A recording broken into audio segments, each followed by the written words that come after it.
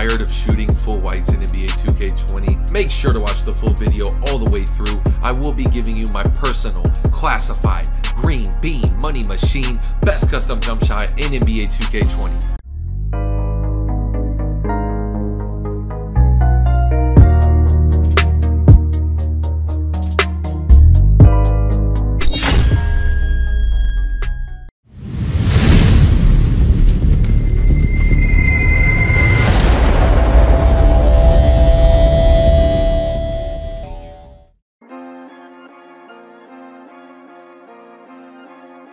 Yo, YouTube, it's your boy Premier back today with another banger and in today's video we will be going over the best custom jump shot. Smash that like button on this video, leave a nice comment below, don't forget to subscribe if you're new, and without further ado, let's get straight to the video. Now, for the base, scroll all the way to page 7 and select Jump Shot 98.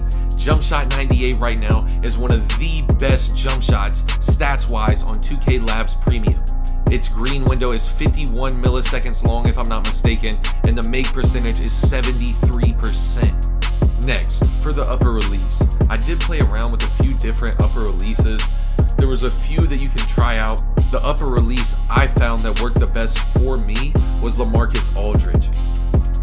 Next, for the upper release 2, scroll all the way down, if I'm not mistaken, it's page 14, Stephen Curry. And for the blend, the magical blend is 65-35. If you sit here and look at this jump shot, just watch the elbow, watch the wrist flick. You can see the pop. The green window in this jump shot is amazing.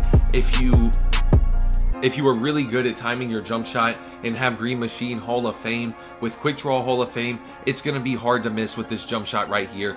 Highly recommend this jumper if you are tired of shooting full whites in NBA 2K20. Thanks for watching the video. This is the magical jump shot. I hope you enjoy it. Don't forget to like, don't forget to comment, don't forget to subscribe if you're new.